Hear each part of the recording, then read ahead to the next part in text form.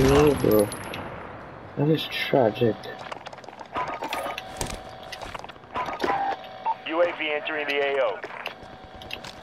That is actually tragic, bro.